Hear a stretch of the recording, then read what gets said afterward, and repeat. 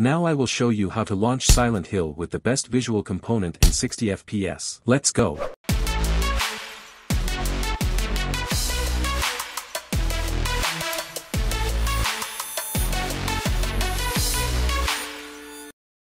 Silent Hill, just like Soul Reaver is a little capricious game when it comes to emulators. You can get through many different emulators and get an acceptable result of course. But I'm going to show you the best because this game is worthy of the best. The emulator of our choice is DuckStation.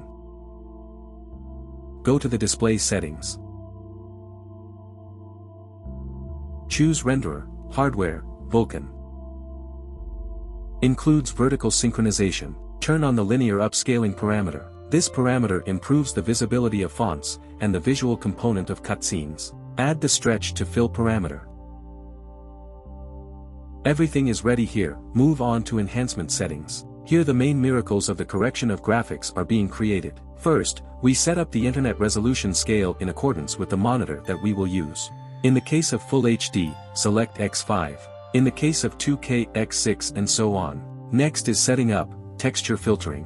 In my video, I used the nearest neighbor parameter, which is in other way a minimal visual improvement. However, never spoils anything in any game. All other parameters can improve something or break something.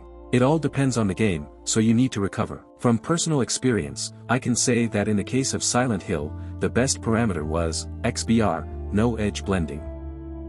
Put a checkmark on the scale dithering parameter. This is the most important when we want to get a clean and beautiful drawing.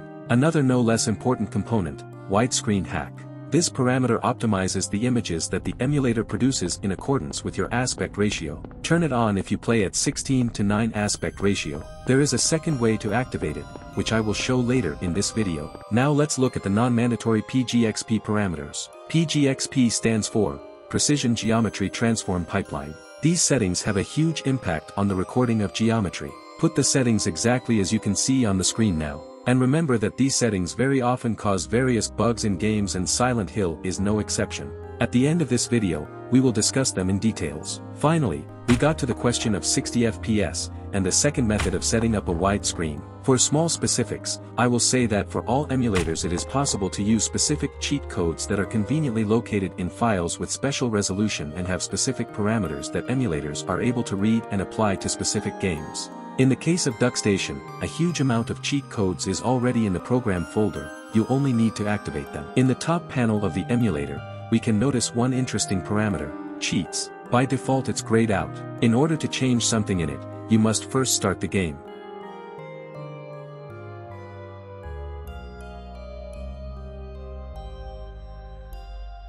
We launch the game Silent Hill, go to the cheats and open the cheat manager. Below there are two parameters we need, 60 FPS. There are two options for the American region and for Japanese. Choose based on the image of the disk that is used.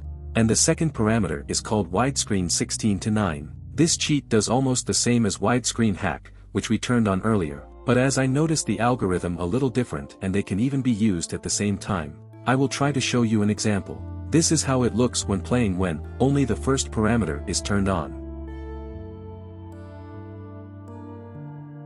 Now let's see how it will look when only the second hit is turned on. The difference is not big, but it is. Now let's see what will happen if both turn on them. Here is the actual result. Further, how to use them depends completely on your preferences. It's time to talk about the bugs that are found in this game of IZA settings of the parameters that I showed you. I will say right away that you can turn them off and these bugs will never meet you. But what is the image of the VE in this case? Not the best option is right. And so, there are several points in the game, which often lead to freezing. The first case takes place in the church when you first meet Dahlia Gillespie. To prevent this from happening, you need to disable the parameters of improving the geometry PGXP and widescreen hack slash chats. It happens that even when they turn it off, the bug still appears, during a conversation with her, and to avoid this, I recommend skipping the second sentence by pressing the cross key on your controller.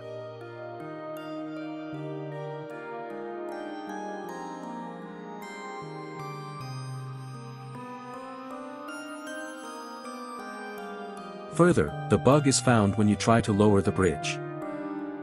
The next time you may face this problem, immediately after the transition to the gate in sewers, after Moth Boss fight. This bug also takes place by the end of the game, where you are talking with Alessa. You can see example, on the screen. Here is how it happens when we have parameters on.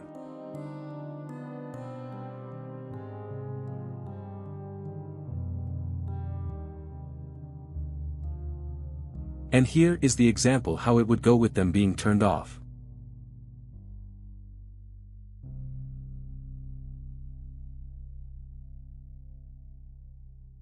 On this our video comes to an end, I wish you a pleasant game.